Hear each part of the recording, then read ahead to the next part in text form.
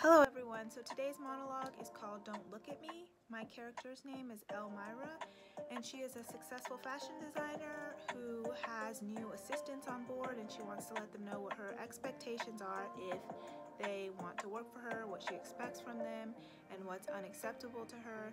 And she also has a very powerful ego which makes the monologue even more entertaining. If you end up enjoying it, please like it, share, and subscribe, and we're going to get into it.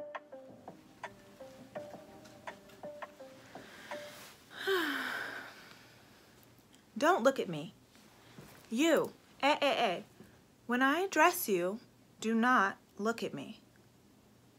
No eye contact. Do you guys understand? Look away.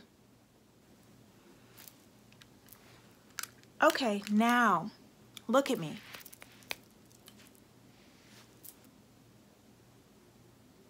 I told you guys not to look at me. Even if I tell you to look at me, do not look at me. Understood? Good, good, darlings.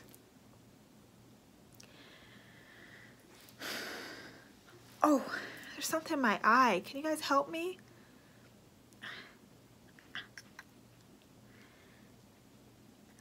Looking, looking, looking.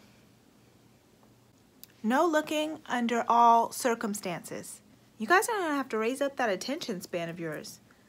A fish could retain more. It's true. I've read it. Less of an attention span than a fish.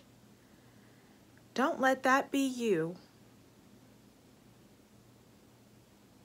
All right, so that is the monologue. I hope you guys enjoyed it, and I'll see you in the next video.